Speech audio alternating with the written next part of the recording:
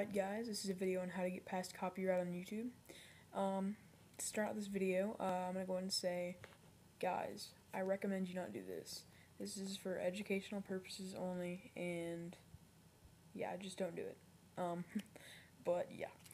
Uh, I'm pretty much get one try at this because I did only upload one video for the copyright test. As you can tell, it's still processing, so I'm not going to do it yet, but I thought I'd go and show you something first. Uh, make sure you guys stop by this website while you're waiting here, and uh, make sure to register on it. Um, by right here, just register, and then sign in, you know, later, and uh, check that stuff out. While I'm whispering is it's late at night, so yeah. All right, back to YouTube on how to get past it. All right. Uh, the link, the not the link, but the words you need to put in here will be in the description. All you gotta do is copy and paste where, where I tell you.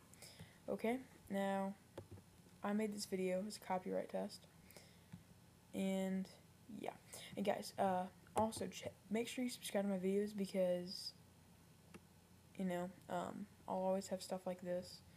Um, this is how to uh, get the Universal Studios logo, which is always really cool. I mean, the intro like I have uh, you'll probably see at the beginning of this. Alright, now, here is the copyright test. Now, as you can see, this video contains an audio track that has been not authorized by WMG. The audio has been disabled. Now go and click here and put more about copyright. Oh, my bad. Not more about copyright. You click on resolve copyright issue. Okay? Resolve the copyright issue. And once you're here, you have this. Okay? I want to learn more about the dispute process. Okay. Now, click here and click take me to this di dispute form. Okay.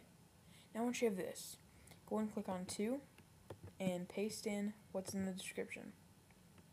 Then type in your signature, Chris Jordan Gaines, that's my name. And your statement of good faith, all you have to do is type this in.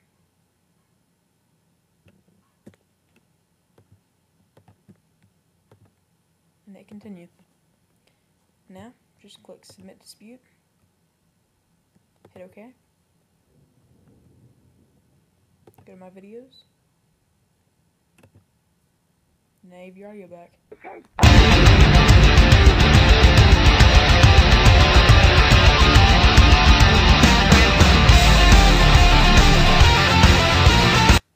Alright guys, but uh, thank you for watching.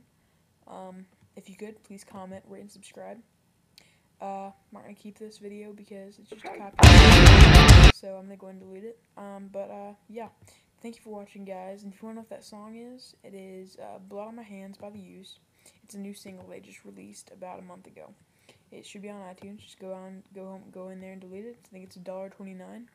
But, uh, guys, uh, thank you for watching. Please comment, rate, and subscribe. Bye.